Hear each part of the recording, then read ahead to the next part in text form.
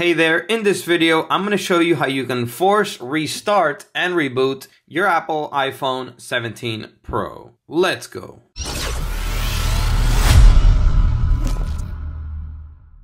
Welcome back to the video. My name's Sergio, and in this channel, I make life-saving tech videos. So if you're new here, feel free to subscribe and hit the bell while you're down there. All right, let's jump right into it. So you may want to force restart your iPhone. Maybe it's freezing up um, and it's getting stuck. Um, and you know you want to just do a quick reset so that you can close everything on the iPhone and hopefully it will unfreeze and start working normally again. So how you perform a quick reset is super simple. Let's say you are stuck on an app, for example, like this.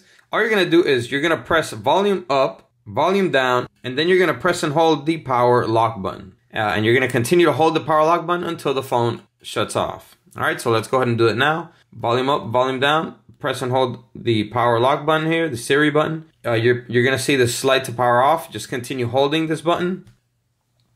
Once the screen turns black, you could release the button, give it a few seconds, and it's gonna automatically turn back on. Okay, so uh, that's what's called a force restart. So as you can see, it's showing the Apple logo, so it's booting back on.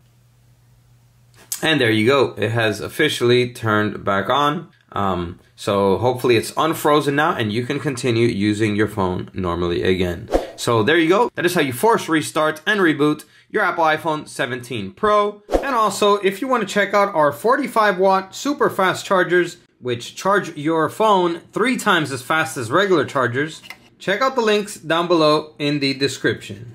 Go ahead and destroy that like button if this video helped you and comment down below and let me know. That's all for this video. I'll catch you in the next one. As always, peace.